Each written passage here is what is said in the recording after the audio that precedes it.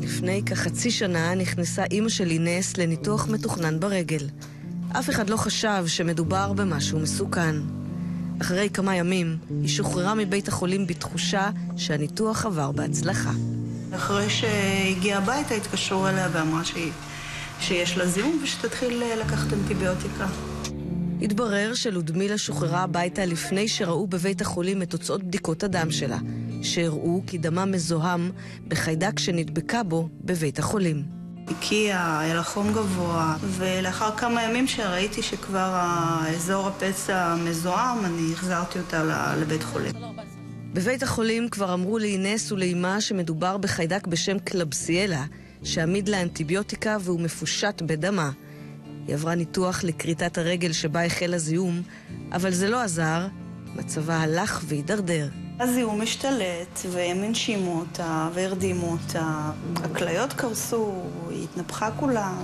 הרופאים ניסו לתת לה סוגי אנטיביוטיקה שונים, העלו מינונים, אבל מערכות הגוף שלה לא הגיבו לטיפול האנטיביוטי, וקרסו בזו אחר זו. דבר לא עבד נגד החיידק, שהמשיך להשתלט על כל מערכות גופה. עד שהיא מתה. הסבירו שזה זיהום, שזה יכול לקרות. מה שקרה ללודמילה אינו נדיר. זה קורה בכל יום לעשרות בני אדם בכל בתי החולים בארץ. מה יש לה לאימא שלך? חיידק בשתן. איזה? לא יודעת. לא רואים אומרים. איפה היא נדבקה בו? אומרים תיקחו אותה הביתה, אמרתי להם אם יש לה חיידק איך אפשר לקחת אותה הביתה? אנחנו נדבק בבית. לא, קחו אותה הביתה. אימא של בתיה מאושפזת כבר שנה וחודשיים כשיש לה חיידק בדם. היא מקבלת אנטיביוטיקה לווריד, וגופה לא מצליח להתגבר על החיידק. יותר ויותר חיידקים מפתחים מוטציות ומנגנוני הישרדות מתוחכמים, עד שהם הופכים לעמידים בפני האנטיביוטיקה. יכול להיות יום שלא יהיה לנו אנטיביוטיקה לתת. גם עכשיו יש אנשים עם זיהומים שאין לנו טיפול אנטיביוטי לתת להם. ואז? הם, או שהם מתגברים על הזיהום כמו שהיה לפני שהייתה אנטיביוטיקה, או שהם נפטרים. האנטיביוטיקה הומצאה על ידי אלכסנדר פלמינג בדיוק לפני 90 שנה כדי להילחם בחיידקים. הוא קיבל פרס נובל על כי גילה את הפניצילין שהציל חייהם של מיליארדי בני אדם ברחבי העולם. אבל בשנים האחרונות כוחה של האנטיביוטיקה נחלש מול החיידקים, והיא כבר פחות מצילה חיים. If the patient has a pneumonia with a resistant bacterium, the antibiotic doesn't kill the bacterium, and the pneumonia is not cured, and, and the patient can die. האם את יכולה לנחש איזה אחוז מהחולים המאושפזים בכל יום בבית החולים מקבלים אנטיביוטיקות? 30? יותר. 40? בין 40 ל-50 אחוז, כך שמדובר זה על... הרבה? זה המון. בבית החולים ברזילי פיתחו תוכנה שיודעת לנתח בכל רגע נתון כמה חולים מקבלים אנטיביוטיקה וכמה מהם מקבלים אנטיביוטיקה מיותרת. 43% מקבלים עכשיו אנטיביוטיקה, נכון. זה אומר של-43% יש חיידקים? לא, לא. זה אומר של-43 אחוז הרופאים חשדו שיכול להיות שיהיה זיהום. כלומר, רופאים נותנים אנטיביוטיקה לשווא, לפעמים מטעמים פסיכולוגיים, רק ליתר ביטחון. לפעמים הם נותנים אנטיביוטיקה לפני שהם עושים בדיקות דם, ואז החיידק כבר לא נראה בדם. החיידק נעלם מהדם, ואז אתה כמו סומה באפלה. אתה נכנס למין מעגל כזה שאתה ממשיך לתת את האנטיביוטיקה, החולה משתפר, אז ליתר ביטחון אתה ממשיך, וזה איום ונורא. מנתונים של משרד הבריאות עולה כי 30% מהטיפול האנטיביוטי בישראל מיותר.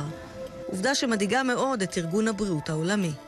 The problems in resistance are very high, and the use is probably also high. ארגון הבריאות העולמי חרת על דגלו את הלוחמה בשימוש המיותר באנטיביוטיקה, כדי לנסות להחזיר לה את כוחה. If you don't have effective antibiotics, people can die. אז מדוע לא מפתחים אנטיביוטיקות חדשות יותר? פשוט מאוד, כסף. לחברות התרופות לא משתלם להשקיע זמן וכסף בפיתוח אנטיביוטיקה חדשה. לא יהיה בזה רווח. We need new antibiotics with novel mechanisms that circumvent the resistance genes of the bacteria that are here. משבר האנטיביוטיקה בעולם הוא כל כך גדול, עד שהאיחוד האירופי החליט להשקיע כמה מיליוני אירו במחקר שידרבן את חברות התרופות ויוכיח להן שכדאי וצריך להשקיע ולפתח אנטיביוטיקות חדשות. במחקר העולמי משתתף גם צוות ישראלי. הפרויקט נועד לענות על שאלה איך לדאוג שלעולם יגיעו אנטיביוטיקות חדישות ויעילות. שישתלם לפתח תרופות כאלה. שלוש שנים עבדה קבוצה ישראלית על התוכנה הזאת, שמנבט את מספר האנשים שימותו מחיידקים בכל מדינה בשנה הקרובה, ואנחנו חושפים את הנתונים שלה כאן לראשונה. בישראל מרסה 46 חולים, בשוויץ 4 לכל מיליון. בישראל ימותו פי עשרה יותר ממדינות אירופאיות אחרות. מחיידק הקלבסיאלה למשל, ימותו בישראל לפי התחזית הזאת כ-130 בני אדם השנה. 16 בישראל פר מיליון בשנה הקרובה, ומדינה כמו צרפת למשל, שלושה למיליון, גרמניה ארבעה למיליון. האירופאים משקיעים הרבה כסף ולא בטוח שחברות התרופות ישתכנעו. הייאוש הזה ומקרי המוות הרבים שהיה אפשר למנוע, הביאו את פרופסור גליה רהב לנסות ולפתח במעבדה שלה בבית החולים תל השומר אנטיביוטיקה. יש לנו חיידקים כמו הצינטובקטר, זה חיידק מאוד שכיח בטיפולים נמרצים ולא רק, שממש אין טיפול לו, הוא עמיד כמעט לכל האנטיביוטיקות שקיימות.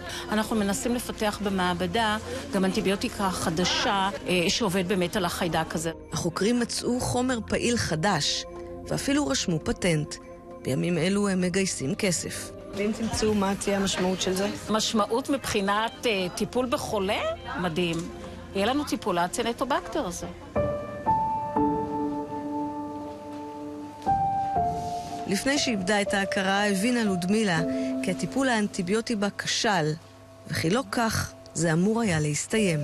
כשהייתה בהכרה והייתה לפני כריתה, היא אמרה שאני רוצה שתתביעי אותם, באתי לפה על שתי רגליי. כאילו כך היא אמרה, על זה שהם מורדים לי את הרגל. מה אמרה לך? אני רוצה שתטביעי אותם? כן. וזה מה שאת עושה עכשיו בעצם? כן. איזה סוג של צבא. כן.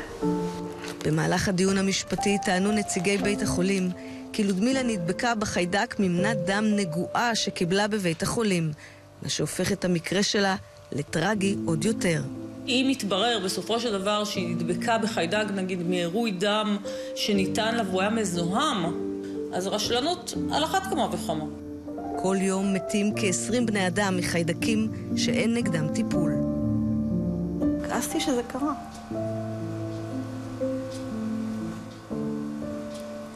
כי זה כואב.